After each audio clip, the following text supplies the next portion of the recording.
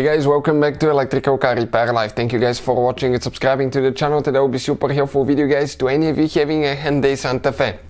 If you guys have a Hyundai Santa Fe, practically almost any generation, you remove your ignition coils to, let's say, replace ignition coil or replace spark plug, and you notice that the spark plug, well, that's the spark plug, how it's full of engine oil, guys. We'll explain what causes that and how it can affect your engine. So make sure to stay till the end and we'll explain what causes that and how to fix it.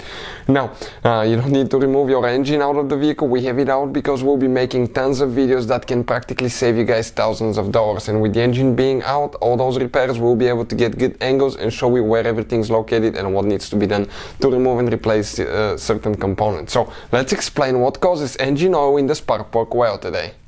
So this should work on Hyundai Santa Fe generation 2013 all the way to year 2016 guys with a 2.4 GDI engine. Now let me introduce you to the channel quick. Every single car we get at the garage we try to make at least 2 to 300 free repair videos. We take them completely apart, we show you how to fix practically anything guys. Why we do all that? Simply because our mission in the shop is to save you as much money as we can. All we need in return, please subscribe to the channel and like the video. This engine, okay, will be completely taken apart, transmission will show you how to fix almost anything on it. Another thing, if you need to buy any parts or tools guys, okay, check out the link in the description of the video below and you can see where we get all the tools and parts from for a really good price and quick shipping as well. That's where we get all our supplies from. So this right here, okay, this is the engine and uh, before we start, let me tell you guys, if you have a Hyundai with a 2.4 GDI engine or other cars, check our main channel, Auto Repair guys. We have helped more than 110 million people guys. We have information that can save you thousands of dollars. So let's start on it now. So specifically guys, this is a 2013 engine uh, GDI 2.4 liter, but even if you have an older uh, engine, a newer engine, GDI, non-GDI, the procedure will be about the same. Before we start guys, I want to tell you one thing.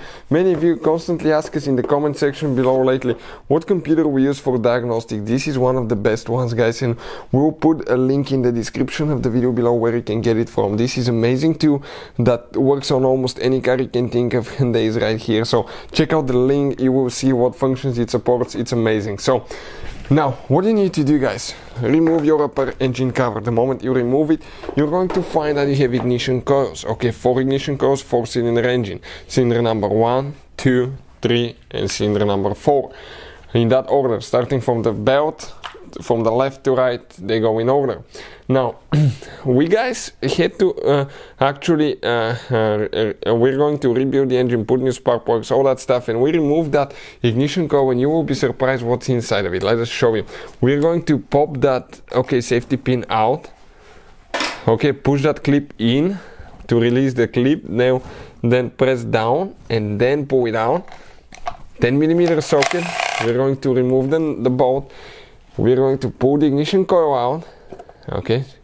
And you hope you hope that this is not the case with yours guys because right here that hole guys that ignition coil okay there is quite a bit of engine oil. What causes that engine oil?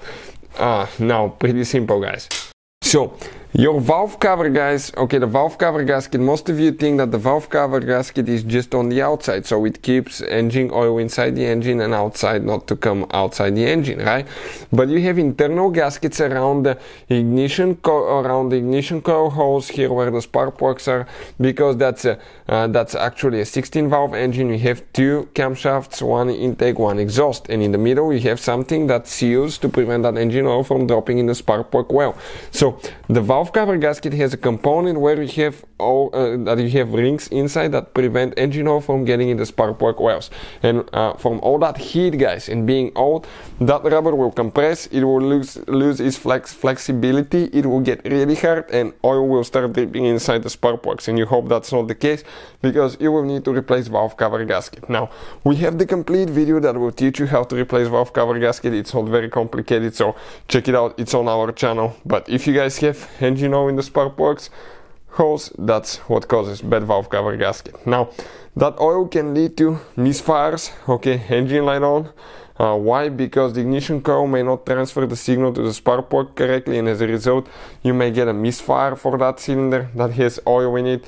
In some cases, you may have oil even in all four cylinders if you have a really bad gasket, but that does not happen very often. Most of the times it will be one, two cylinders, then maybe three after that, and that can lead to misfires as well and loss of power. Hopefully the video will be helpful. Thank you for watching and see you guys next time.